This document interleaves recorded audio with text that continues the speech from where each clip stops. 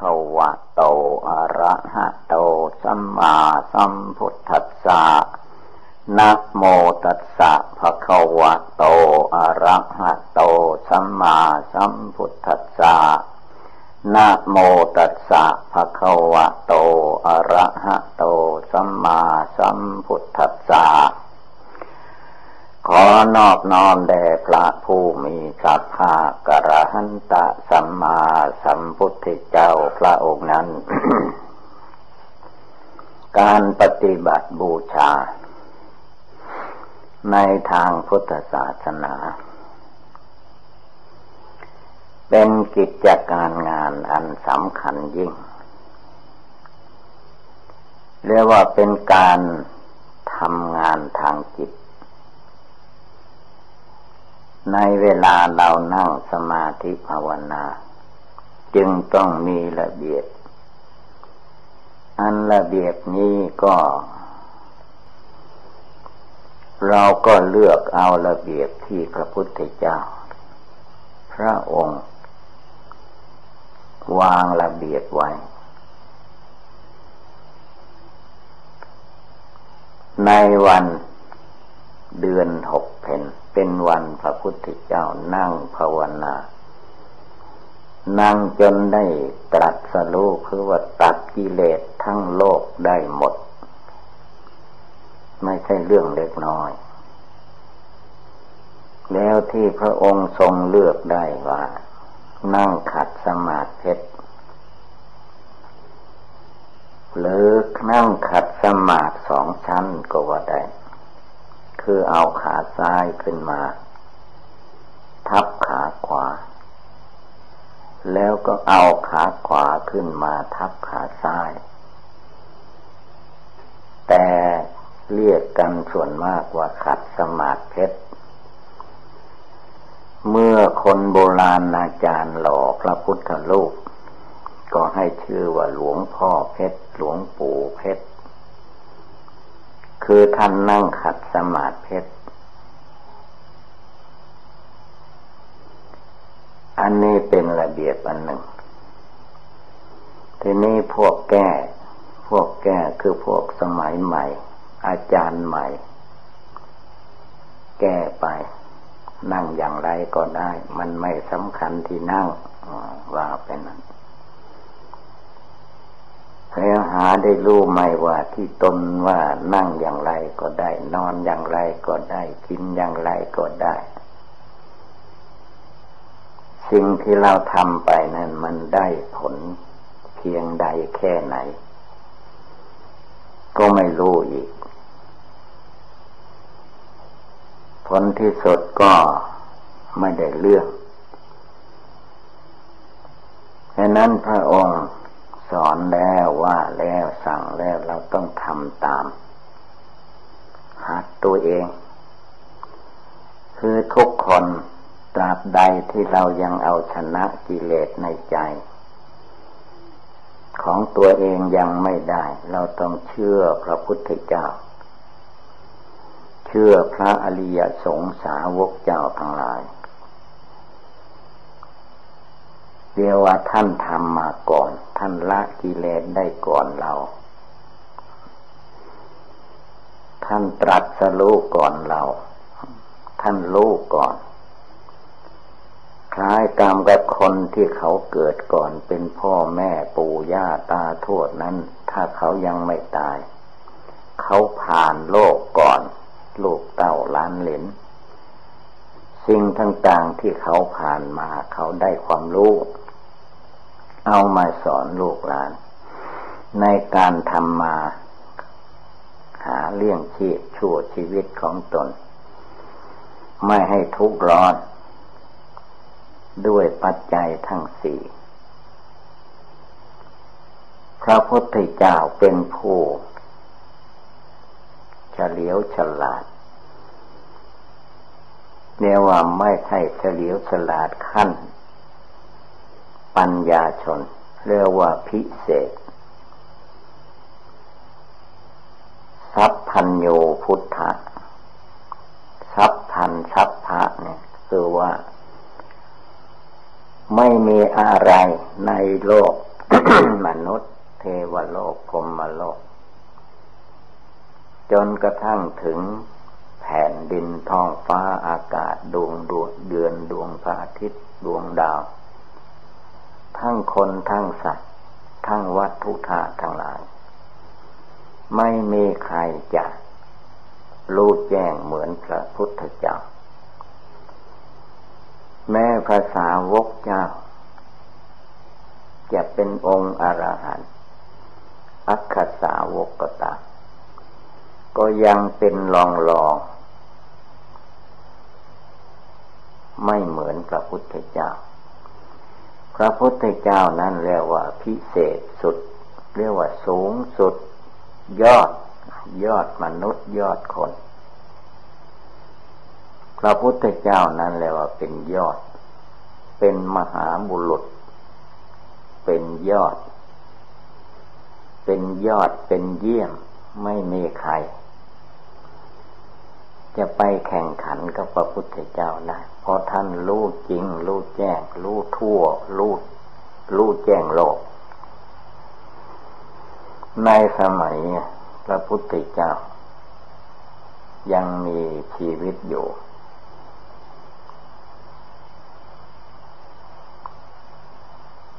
ชั้นพรม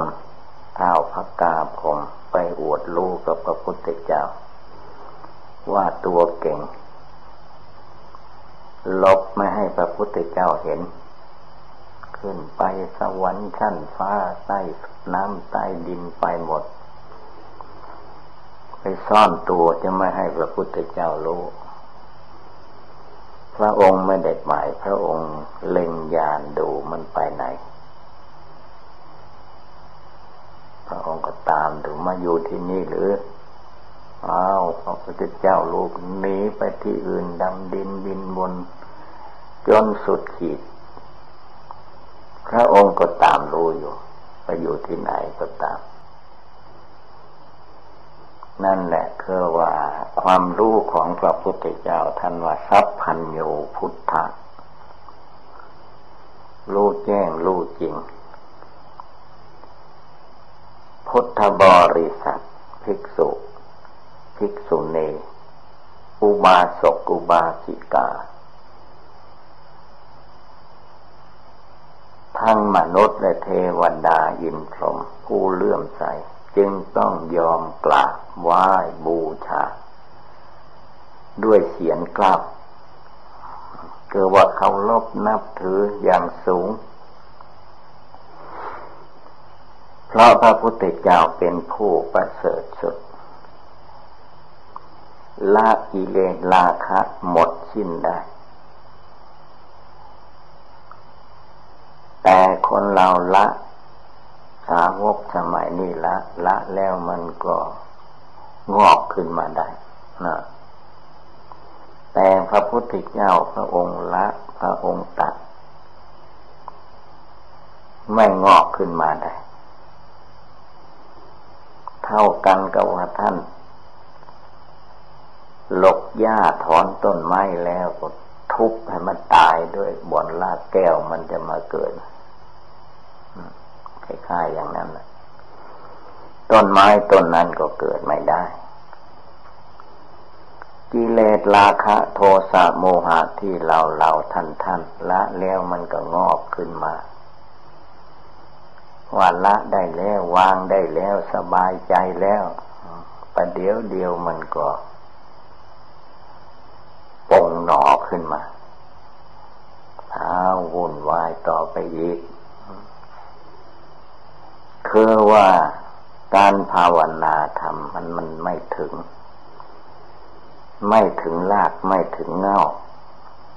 ยังฆ่ามันไม่ตาย ภาษาหนึ่งเขายังว่ามีบางคน ไปเห็นงูเห่างูมีพิษ แล้วก็ไปตีมันไปฆ่ามัน เวลาตีฆ่าก็ว่ามันตายแล้ว แต่ตัวเองไม่ได้ตัดคอมัน ไม่ได้ตัดตัวออกมันขาดเป็นสองท่อน หรือตัดหัวออกตัดคอออก ไม่ได้ตัด พองูตัวนั้นมันฟื้นขึ้นมาแล้ว มันตามได้กิน ดมกินไปว่าคนไหนที่มาตีมาฆ่าเรามันตามเข้าไปกัดจนในมุ้งเอาจนตายว่าอย่างนั้น เป็นคำโบราณเขาแต่งไว้ คือเราฆ่ากิเลสมันไม่ตาย ธรรมดากิเลสความโกรธโลภหลงนี้ พระพุทธเจ้าท่านฆ่าจนตาย แล้วฆ่างูมันก็ตัด หัวมันออกไป ถ้าตัดหัวทิ้งแล้วจ้างให้มันมาตามกัดในบ้านในเรือนไม่ได้แล้ว มันก็เน่าตายอยู่ที่นั้น กิเลสราคะ โทสะโมหะมันทำความเดือดร้อนให้แก่ คนเราทุกคนสัตว์ทุกจำพวก ไม่ว่ากิเลสชนิดใด เพราะเราฆ่าเราละเราพิจารณาไม่เพียงพอ แล้วมันก็กลับมาให้โทษอยู่อีกเห็นนั้นเวลาเราฟังธรรมก็ดี ฟังด้วยดี ฟังให้ดีจำให้ได้ จึงมีพุทธภาสิทข้อหนึ่งดีมาก พระองค์ทรงตรัสว่าสุดสุดสังลพเตปัญญา ฟังด้วยดีย่อมได้ปัญญา คือฟังด้วยดีฟังแล้วปฏิบัติตามตามกำหนด เอามันสุดยอดสุดต้นว่ามันไปอย่างไร มันอยู่อย่างไร กิเลสนั้น ตามฆ่าตามทำลายเรียกว่าปหาตปธรรม มันไม่ใช่ฟังหู สงบแล้วก็แล้วไป ฟังแล้วนำไป ปฏิบัติให้มันถูกต้อง จนได้ปัญญา ปัญญาในข้อธรรมนี้มันไม่ใช่เพียงปัญญาโลกีหรือปัญญาโลกุตละชั้นต่ำแต่หมายถึงปัญญาชั้นสูง ถึงขั้นญาณถึงขั้นรู้หลุดรู้พ้น ทำอาสวะกิเลสของตนให้หมดไปสิ้นไปได้ จึงเรียกว่าฟังด้วยดีย่อมได้ปัญญา ทีนี้เมื่อมันได้ปัญญาความรู้แจ้งชั้นสุขแล้ว มันบ่ต้องได้ละได้ถอนอีก มันไม่มีทางที่จะเกิดขึ้นมาได้อย่างว่าฆ่างูแล้วก็ตัดหัวมัน อนรากต้นไม้แล้วก็ทุบเผาไฟ ต้นเข้ามันให้มันตาย มันบ่มีทางที่จะกลับขึ้นมาได้ กิเลสราคะตัณหาอามันลุกไหม้หัวใจ มนุษย์และสัตว์ทั้งหลาย เพราะมนุษย์และสัตว์ทั้งหลายไม่ตามเข้าไปฆ่าไปทำลาย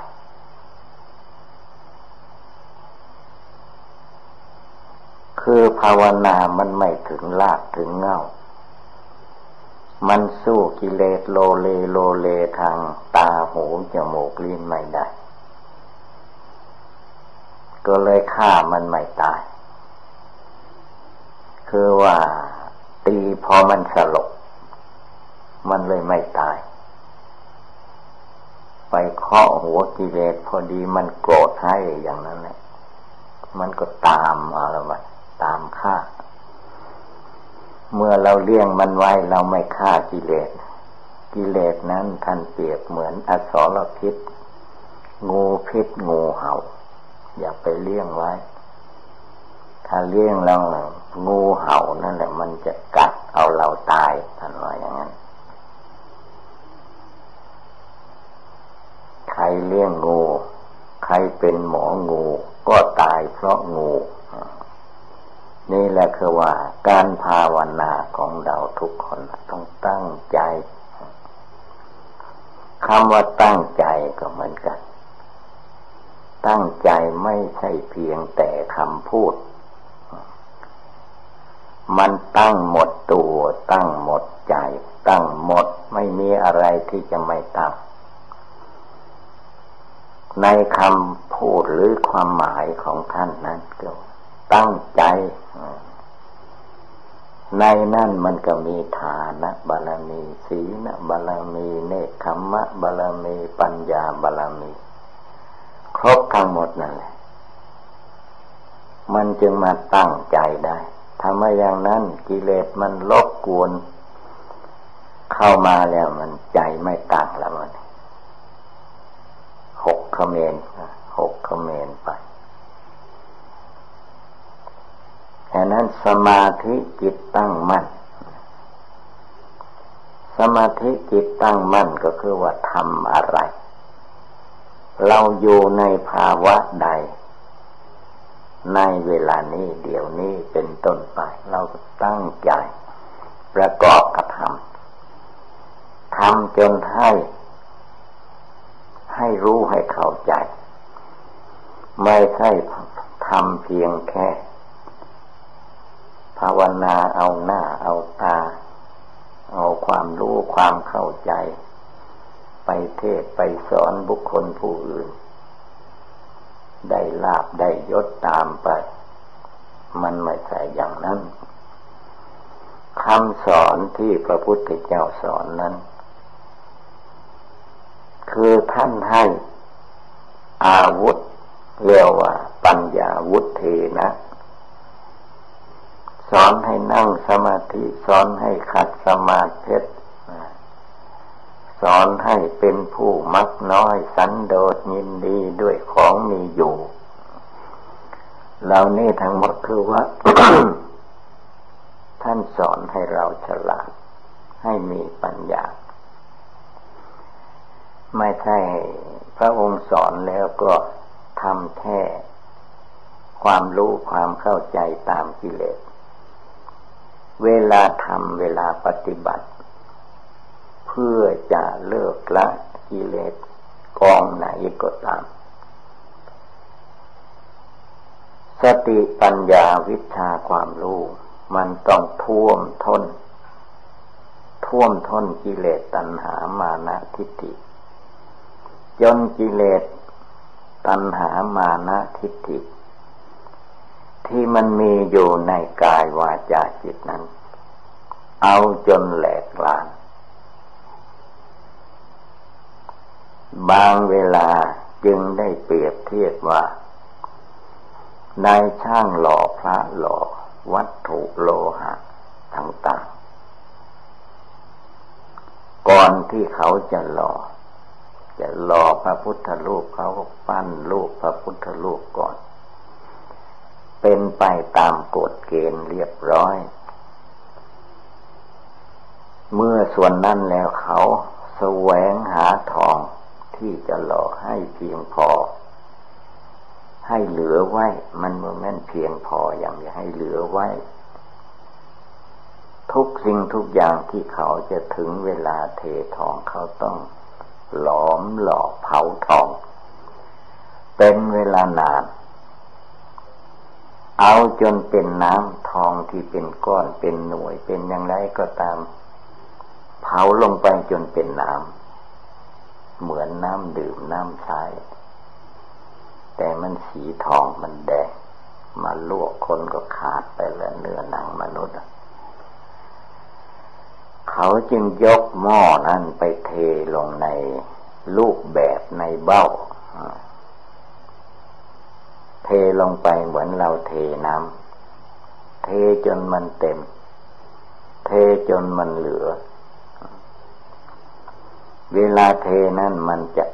มันจะเกิดแตกขึ้นมาเบ้าถ้าไม่แข็งแรงเขายังมีดินเหนียวเตรียมไว้ มีคนงานเตรียมไว้ คนที่จะปะ เข้าไปทำงานในการหลอกเขาก็มีวิธีการ แต่งตัวเป็นเป็นเทวดาเป็นนักบวชก็ได้ เป็นอะไรนุ่งขาว นุ่งขาวคือว่าให้ระมัดระวังนะ เวลาเทอย่าให้ท้องลวกตัวตายนะความหมายให้เป็นเทวดาให้มีภูมิเป็นผู้มีสติ ทีนี้เทลงไปจนเต็มจนเหลือ จนเบ้าก็ไม่แตกอะไรก็ไม่แตกเมื่ออะไรมันพร้อมทุกอย่าง เวลาทุบออกมา พระพุทธโลกก็สวยงาม ไม่ว้าวไม่แหวงที่ไหนนั่นแหละคือว่าเขาเอา เผาจนทองเป็นน้ำคำว่าสมถกรรมฐานวิปัสสนากรรมฐานนี้ก็เปรียบเทียบเหมือนเขาหล่อพระ แต่เป็นเพียงเปรียบเทียบ อันส่วนภาวนาละกิเลสตามพุทธศาสนานั้น มันละเอียดอ่อนกว่านั้นร้อยเท่าพันทวี ไม่ใช่เรื่องเล็กน้อย และก็ไม่เหลือวิสัย ปุตุชนคนเราทำได้ ปฏิบัติได้ สมัยเมื่อพระพุทธเจ้าของเราตรัสรู้ใหม่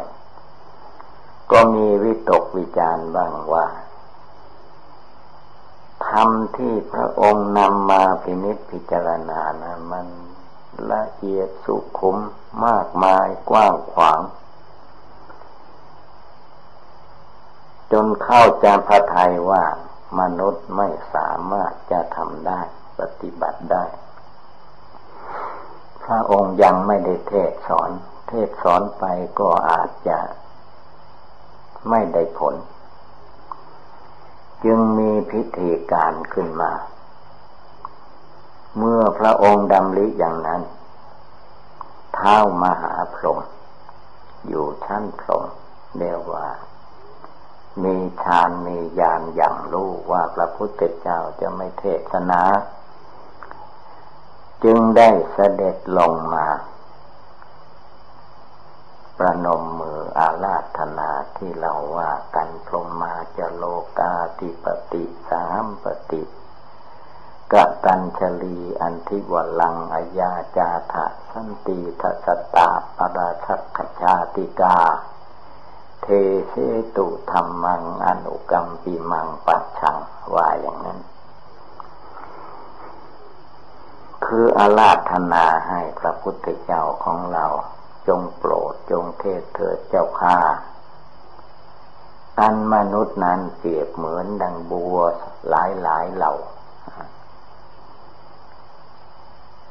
บัวที่ยังอยู่ในเปิดในตมยังไม่พ้นขึ้นมาก็มี พ้นขึ้นมาแล้วอยู่กลางน้ำก็มี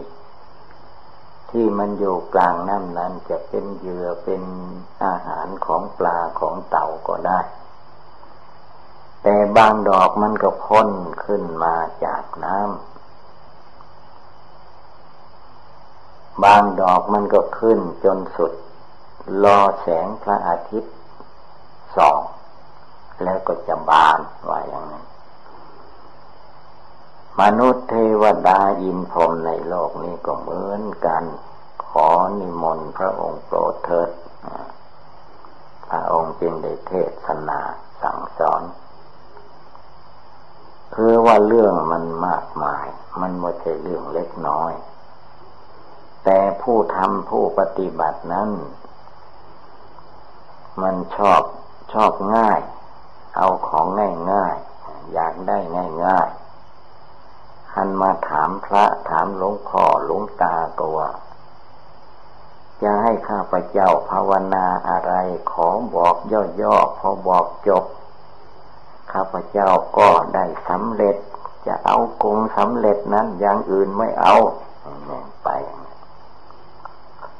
อันนี้มันบ่ได้เพราะว่าไม่มีความเพียร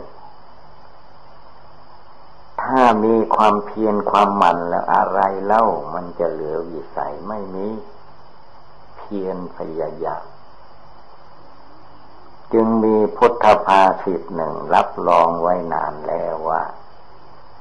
วิริเยนะทุกขมัจเจติ บุคคลจะล่วงทุกไปได้ เพราะความเพียรท่านว่าไว้อย่างนั้น จะไปสู่สวรรค์เทวโลกก็เพียรทำบุญให้ทานรักษาศีลภาวนาเจริญฌานสมาบัติก็ไปได้ ผู้ต้องการจะไปถึงนิพพานก็ต้องเพียรละกิเลสราคะโทสะโมหะ รวมจิตรวมใจตั้งมั่นให้ได้ ใช้สติปัญญาวิชาความรู้ที่ตัวเองปฏิบัติดีปฏิบัติชอบนั่นแหละ เข้ามาตัดสินใจของตัวเองให้มันเด็ดขาดไปเป็นอย่างอย่าง มันจึงได้จึงถึง ไม่ใช่ไปขอเอาง่ายๆ ไม่ทำไม่ปฏิบัติ หรือให้นั่งหลับตาภาวนาก็นอนหลับไปเลย แต่ไม่ใช่กายนอน ใจมันนอน ใจมันนอนคือใจมันสบายสบายหลับกิเลสมันก็ทับถมละ เลยไม่ได้บรรลุมรรคผลอะไรมากมายแล้ว ได้แต่สักกับสับประงกเหมือนกับปอมกา ธรรมดาภาวนากับปอมกา ถ้าคนเห็นปอมมันจะรู้มันตอดเงา มันหมดมันแค่นั้นแหละยึดใจไม่แน่วแน่มั่นคงไม่เอาจริงฉะนั้นเราทุกคนต้องตั้งใจ ต้องเอาให้มันจริงไม่มีสิ่งใดจะเหลือวิสัย เห็นนั้นเพื่อนยังมีการไหว้พระสวดมนต์กราบพระพุทธเจ้า เพื่อจะได้ ดูตัวอย่างพระพุทธเจ้า ท่านมีความเพียรความมันความขยันขันแข็งอะไรทุกอย่าง ผลที่สุดก็พระองค์ก็ พ้นทุกตัดสโลเป็นพระพุทธเจ้า ไม่ต้องไปถามใคร เพราะพระองค์ทำมา พร้อมบริบูรณ์แล้วเลยว่าแจ้ง แจ้งใสบริสุทธิ์จิตมันแจ้งมันใสไม่ใช่ร่างกาย ไม่ใช่ดินน้ำไฟลมมันแจ้ง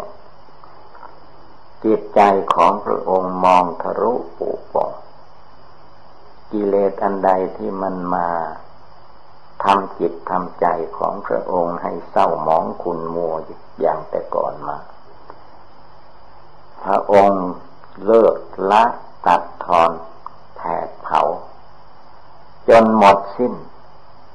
กิเลสราคะโทนะละกิเลสพร้อมทางวาสนา เนว่าทั้งโลกทั้งแผ่นดินทั้งท้องฟ้าอากาศพระองค์เลิกได้ละได้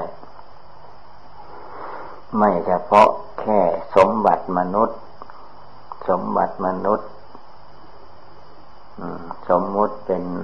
เอากระดาษมาตัดเป็นสี่เหลี่ยม เขียนหนังสือใส่ขียนตัวเลขใส่ ถ้าเขียนเลขหนึ่งก็ว่าหนึ่งบาท เขียนเลขสองก็ว่าสองบาท ถ้าเขียนเลขหนึ่งกับเลขศูนย์ก็แปลว่าสิบบาท เลขสองกับเลขศูนย์แปลว่ายี่สิบบาท เลขหนึ่งแล้วก็ใส่สองศูนย์แปลว่าร้อยบาท จะร้อยบาทร้อยเบียดอะไร มันก็กระดาษแผ่นเดียวนั่นแหละกิเลสในโลกที่เรามาลุ่มหลงมัวเมา ก็เพราะไม่ภาวนาไม่ดูให้แจ้ง จึงได้มาลุ่มหลงมัวเมาติดข้องพัวพันอยู่ในกิเลสกามวัตถุกรรมเลิกละกิเลสความโกรธในหัวใจไม่หมด เลิกละกิเลสความโลภในหัวใจไม่หมด เลิกละกิเลสความหลงในหัวใจไม่หมด ก็เลยเป็นทุกข์เป็นร้อนอยู่เพราะกิเลสในหัวใจ ถ้าเราจาโคเสีสละมันออกไปให้มันหมดสิ้นฆ่ามันทำลายให้หมดสิ้น จนไม่มีอะไรเหลือ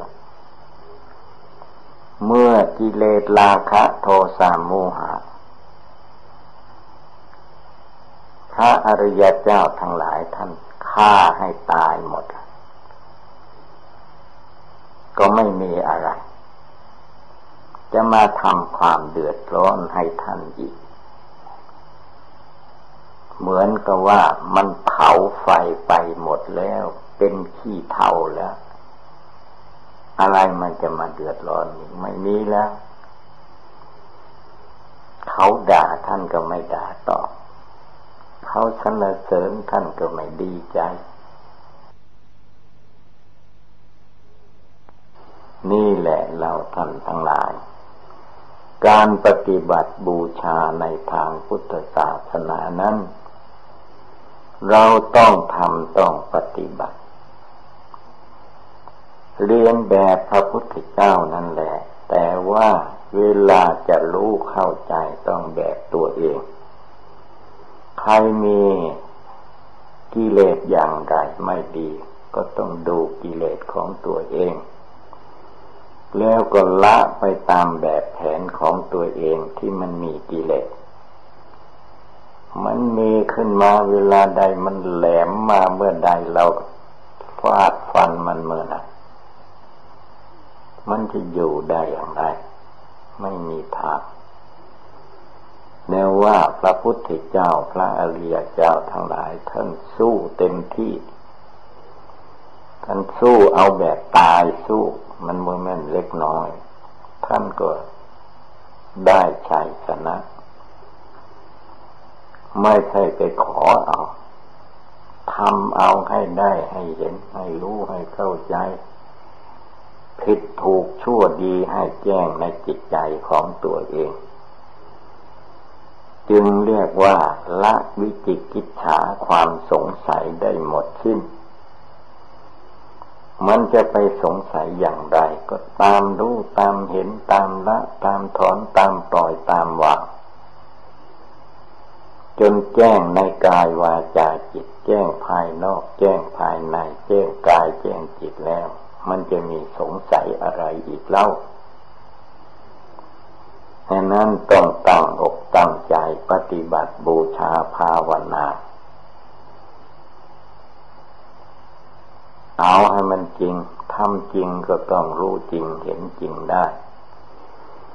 นี่เป็นคำสอนในทางพุทธศาสนา เมื่อว่าเราท่านทั้งหลายพากันได้ยินได้ฟังแล้วก็ให้กำหนดจดจำนำไปประพฤติปฏิบัติ ก็คงได้รับความสุขความเจริญอีวังก็มีด้วยประกาศชนี สัพพิติโยวิวัตทันตุสัพพะโลโกนัสตุมาเตภวัตวันตรายโย สุขีทีคายุโกภวะอภิวาธนาสิริสนิจังวุธาปจายิโนยัตตาโรธรรมาวทันติอายุวันโนสุขังภาลัง